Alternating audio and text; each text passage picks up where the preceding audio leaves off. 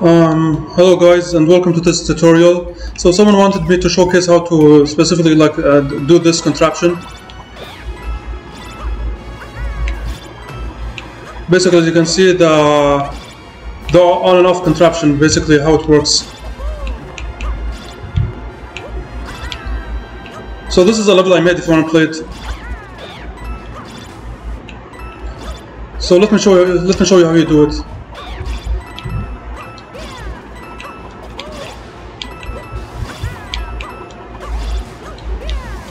Alright, so basically as you can see this is the contraption and basically the way you do it is this. First of all you need the snake block as the ground, that way if you go too far it won't the shell won't despawn. Second of all you need a spiny beetle or a, or a buzzy beetle, but since we're in the 3D world we have to use a spiny beetle since that's, that's the only option you have.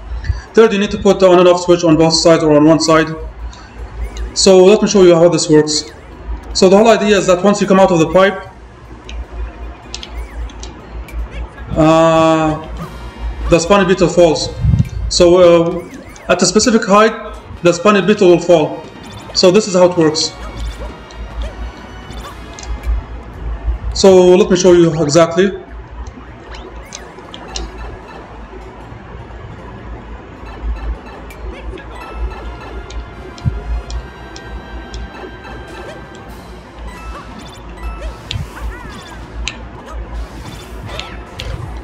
Alright, so as you can see, it, it, it, goes on and off, and this is one of the contraptions, or one of the one of the one of the ways you do it.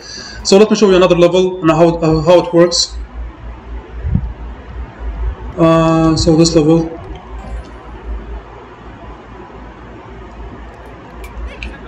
So this is another idea you can do, or another way you can do it. So as you can see, uh, boom, the the on-off switch uh, mechanic. This is one of the other ways to do it. So what you can do exactly is that instead of uh, the buzz beetle falling down, you can use a, sp a, spring contraption. Hold on. Alright, let me show you exactly what I mean.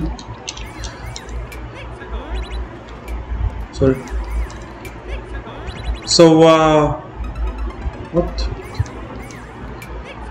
So as you can see, the spring pushes the snake block, the the buzz, the buzzy beetle shell.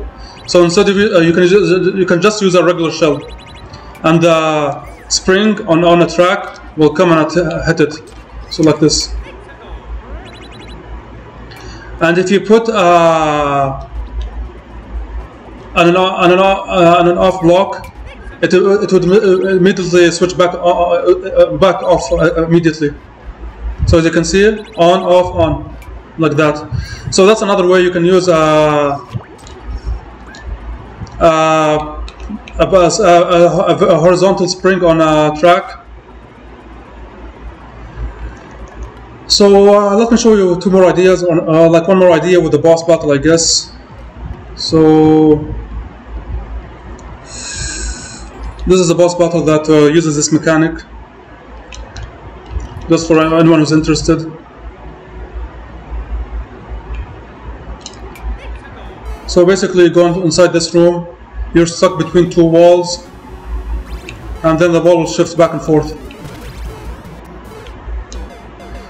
So basically the, the two walls are on uh, conveyor belts that are affected by, that is affected by the on-off switch. So once you come once you come out of the ground or the, the door, See, it uh, goes back on, back on, uh, back off and on. So once you come out of the door, the spiny beetle has uh, already failed. So that's an example, another example. Another boss I can show you is this. You, you don't have to use uh, power blocks as walls, you can just use Bill Blasters. Like this, uh, like this boss exactly.